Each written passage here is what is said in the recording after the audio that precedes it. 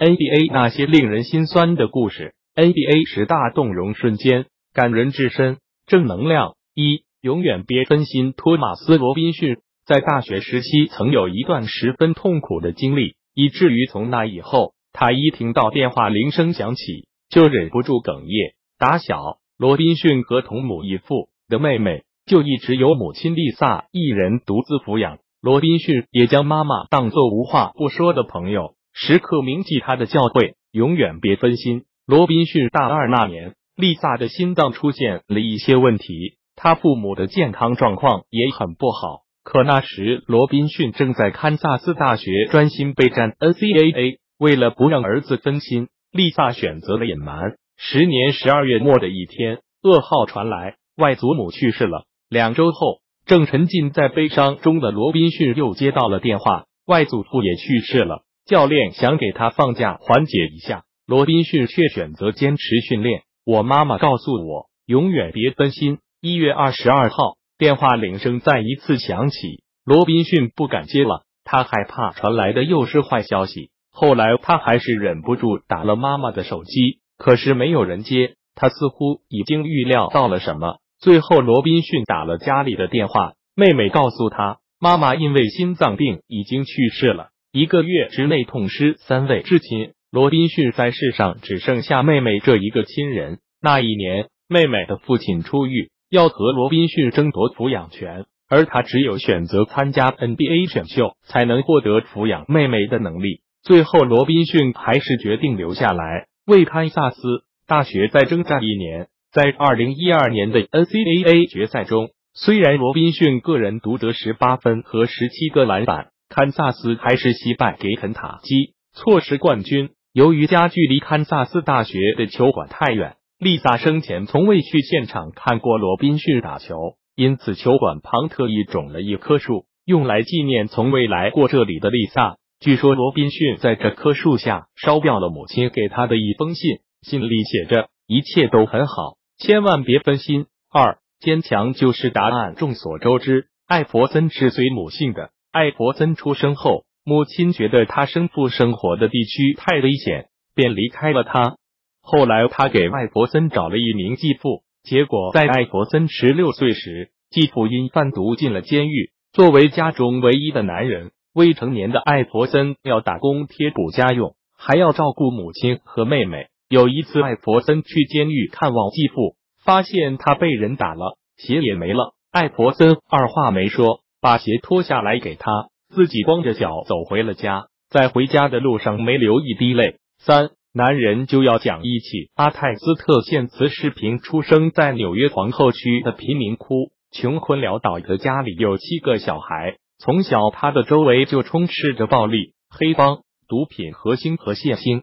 八岁时被查出患有狂躁症，十二岁时父母因家暴离异，十六岁时最小的妹妹因病去世。阿泰斯特拿出自己珍藏的篮球纪念品给他陪葬。在 NBA 的菜鸟赛季，阿泰斯特差点破产，因为他将领到的薪水全部都用来接济当年在皇后区帮助过他的兄弟，一分没留。最后没钱交房租的他，甚至不得不去中介机构打零工。四当理发师教练，我想打篮球。乔纳森·西蒙斯出生在休斯顿，从小家境贫寒。但他很有篮球天赋，他曾经为休斯顿大学效力，但由于四个嗷嗷待哺的女儿，不得不放弃学业参加 NBA 选秀。然而他落选了，甚至都没能收到一份夏季联赛邀请。不过好在 ABL 联赛给了他一份工作，让他不至于失业。西蒙斯擅长理发，经常给朋友们剪头。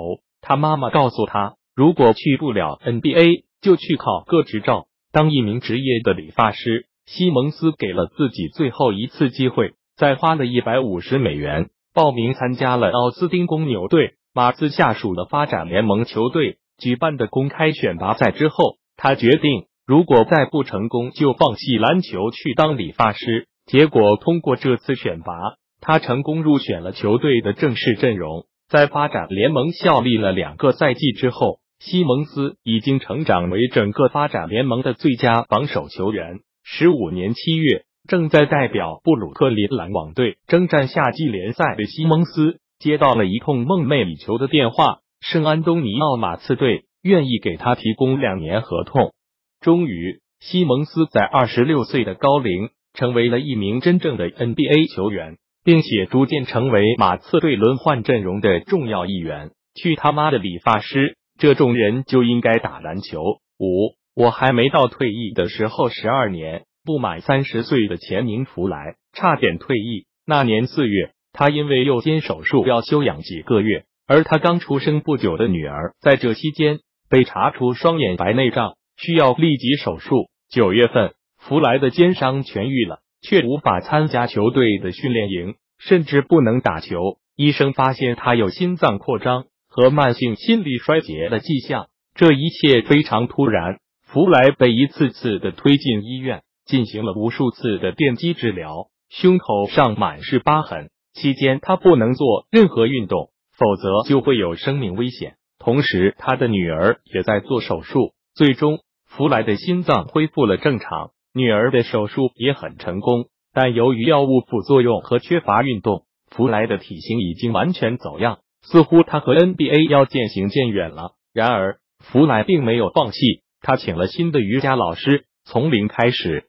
经过半年多的时间，他恢复了之前的体型。十三年八月，他重新开始了投篮训练。如今，弗莱的 NBA 生涯仍在继续，期待他帮助骑士成功。一，我今天赛前跟我的膝盖聊天了，聊得不错。我告诉他们，再给我一场比赛机会。你们将迎来一个美妙的夏天，总冠军也献给他们。韦德两次进行膝盖抽水，榨干最后一点力量，为迈阿密为兄弟带来一个冠军。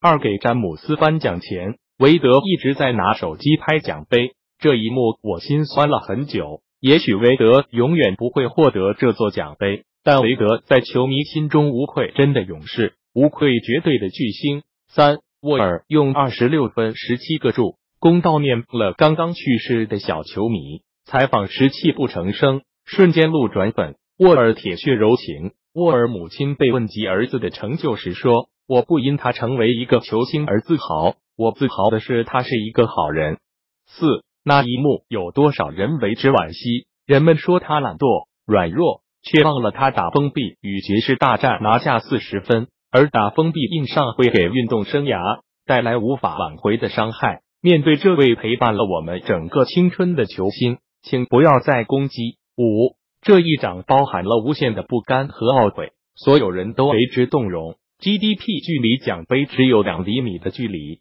但命运有时就是这样。新一代登上历史舞台，老一代注定就要腾出位置。今年 GDP 又输给了雷霆，明年邓肯还会回来吗？六，科比拖着伤腿罚完最后两球，诠释了什么是战士。那一刻，无人可挡的科比就已经退役了。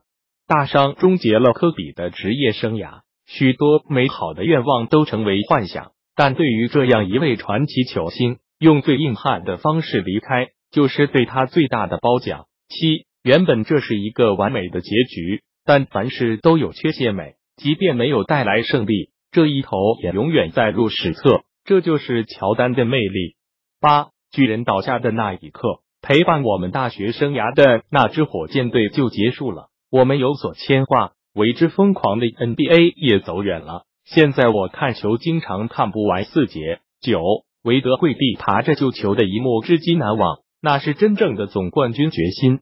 为了冠军，韦德付出了一切。他倾其所有，都奉献给了西夏这片热火，当之无愧对魂。十三个才华横溢的少年，但被命运戏弄，美好的憧憬永远留在了幻想中。欢迎关注此头条号，获取 NBA 视频直播和 NBA 历年比赛录像回放。一九八零年至今的比赛录像都有点此此，除蓝色字可直接进入篮球视频资源主页。